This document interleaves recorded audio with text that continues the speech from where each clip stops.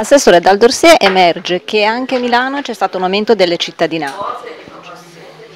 Sì, beh, siamo di fronte a un mondo che sta cambiando, quindi è una società che sempre di più si arricchisce di nuove cittadinanze e dunque di processi di integrazione reale. Questo è un fatto positivo.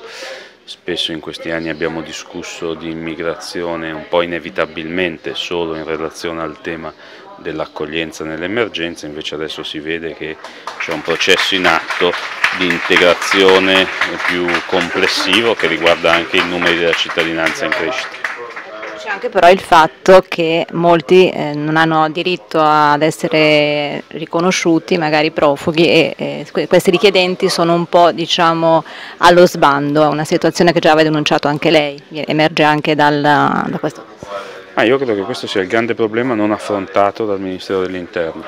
Noi lo diciamo da anni e particolarmente negli ultimi mesi, siamo di fronte a persone irregolari presenti sui nostri territori che diventano senza tetto e senza dimora. Spesso l'assurdità di questo sistema porta a far sì che persone che, vanno via dai centri d'accoglienza dobbiamo poi accoglierli come senza tetto e non c'è nessun intervento nazionale ad affrontare questa, eh, questo risultato, questo esito. È chiaro che la responsabilità maggiore è della legge Bossi-Fini che va, come chiede il anche il sindacato, cambiata perché porta a far crescere il numero degli irregolari, però c'è anche proprio un meccanismo riguardante la gestione dell'accoglienza che va rivisto. Il Comune non può fare di più? Beh, il comune fa già tantissimo, nel senso che noi non li lasciamo per strada, cosa possiamo fare di più? Cioè noi già li accogliamo eh, proprio perché non vogliamo lasciare le persone per strada. Sì, beh, intanto diamo, mettiamo a disposizione migliaia di posti letto eh, e quindi anche di soluzioni per evitare che le persone stiano per strada. E poi rispetto a tutti quelli che sono titolari di un permesso di soggiorno e che quindi hanno tutto il diritto a, accedere a percorsi di integrazione, i percorsi di integrazione in atto sono numerosi, sia sul piano della formazione, l'apprendimento della lingua, le attività di socialità, di aggregazione, lo sport, tutte cose che possono far crescere, io credo, un'idea di convivenza positiva. I numeri sull'immigrazione la preoccupano comunque?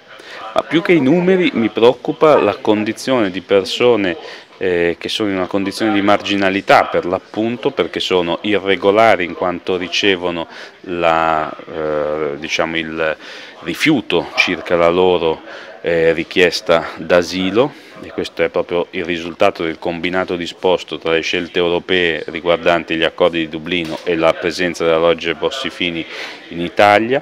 E, ehm, e si tratta di persone quindi che vivono ai margini sono invisibili ma poi se non vengono accolte nelle strutture non solo di Milano ma di tutte le città perché tutte devono fare la loro parte, se no sono solo poche città a fare il lavoro degli altri, diventano persone senza tetto, senza dimora eh, che non fanno altro che essere ancora più povere, ancora più disperate e spesso creano anche allarme eh, alla, alla, popolazione residente. La polemica infatti dell'aggressione eh, che c'è stata sui mezzi pubblici, sui mezzi pubblici proprio l'altro giorno. Sì, poi quello è un tema diciamo, proprio di sicurezza, lì va garantita, è chiaro che più ci sono persone eh, diciamo, in difficoltà più cresce anche un problema di questo genere.